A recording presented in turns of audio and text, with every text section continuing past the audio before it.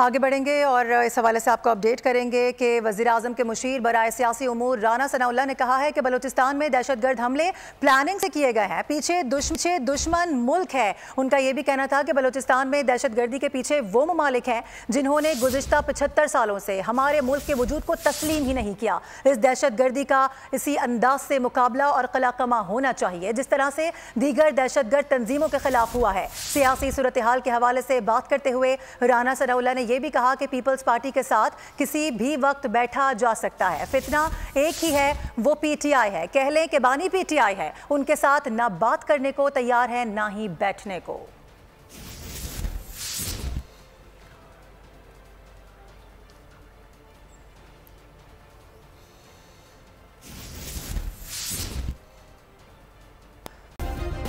Subscribe करें और bell दबाएँ ताकि कोई खबर रह न जाए।